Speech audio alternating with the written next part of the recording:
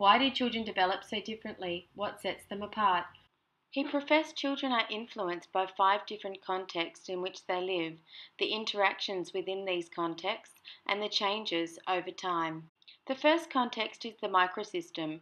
The most important interaction occurs between Billy and his parents. These relationships are two way, meaning Billy respects his friends and they respect him in return. The mesosystems are the interactions that occur within Billy's microsystem. Billy's parents work in partnership with Billy's teacher, which promotes development. The exosystems are contexts that don't exactly involve Billy but affect him indirectly. For example, Billy's dad's work. The macrosystems is the environment that provides cultural values, political policies, or economic decisions that influence Billy indirectly. The chronosystems are the contextual changes that occur over time. The way Billy's mum speaks to him now is more advanced to that when he was younger. Another example is the use of technology compared to generations before. Payne 2008 confirms that the breakdown in one or more of these ecological systems means children are at risk of underdevelopment. Effective teachers take affirmative action when required to improve learning outcomes. Four experiences that could make children vulnerable include poverty, social class, multicultural backgrounds, and refugees. They share the following commonalities. Firstly, the personal traits of parents, how they respond to the needs of their children, their ability to cope in stressful situations, their physical and mental health, and their level of education is critical in a child's development. Firstly, Billy's dad, Ron, left school early, works in an unskilled job for significantly less pay. Billy's mum, Alice, suffers from depression and is unable to provide stimulating environments for Billy to increase his brain development. Differences in language and behavioural development can be seen at two years of age, and without intervention, Billy is at risk. But Billy attends a high quality childcare.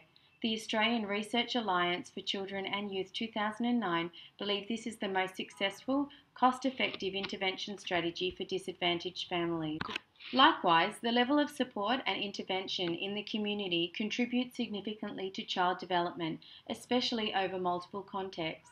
For example, only 36% of Aboriginal children living in remote areas can access a library. This negatively impedes development. All vulnerable children have faced some form of hardship, which is why they are at risk. They have developed a sense of survival, a coping mechanism, and cannot easily show emotions. For example, if Billy was a refugee, his withdrawn nature could be viewed as not wanting to engage in other children, instead, undeveloped social skills. Students ignore him and he continues to feel isolated. Luckily, Billy's teacher obtained community support and carefully encouraged engagement through collaboration.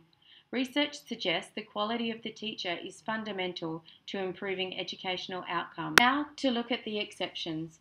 These statistics show that poverty is becoming increasingly widespread in society. The gap between rich and poor increases, and the stereotype that material possessions equal success is more prevalent. Billy doesn't have the latest shoes. Eamon 2001 suggests that Billy will experience peer rejection, lower popularity, be placed in low achieving classrooms, and he might start acting out. Engle and Black 2008 examine the cyclic nature of the problem. Having limited income limits the chances of educational attainment, and at the same time, educational attainment is one of the prime mechanisms for escaping poverty.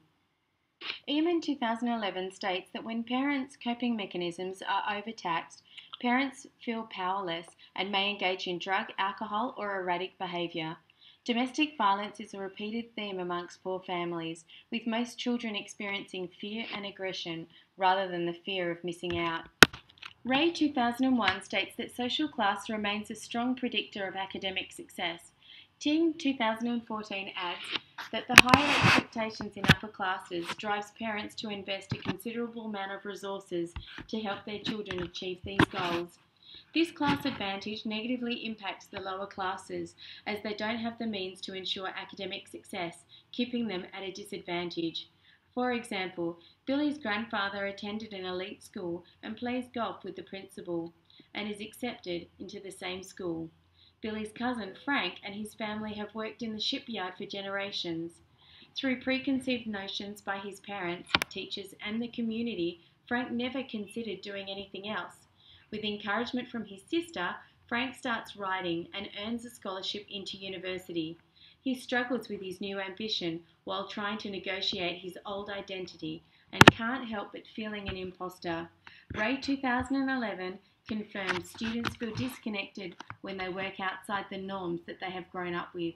Burridge Buchanan and Chodkiewicz 2009 suggest that 45% of Australian children or one of their parents are born overseas. Teachers need to understand the significance of cultural responsive pedagogy, allowing students to make connections with what they know. The different language spoken and cultural beliefs at home means children must adopt a new cultural code at school. Often their inability to code switch effectively can be misread. Teachers remonstrate and children have negative feelings towards school. For example, Pakistani girls do not maintain eye contact as this is perceived as impolite, which could be misread as them not listening or being disrespectful. Hutchin 2011 suggests that many students have to deal with racism, stereotypes, misrepresentation, and cultural disempowerment, which can create feelings of inadequacy, inferiority, and self doubt, which impacts development. Refugees either gain direct entry into Australia or are withheld in detention centres. Refugees have been forced to migrate because of the unstable conditions in their countries. They bring few possessions, have little understanding of their new country, and have suffered forms of physical and psychological trauma.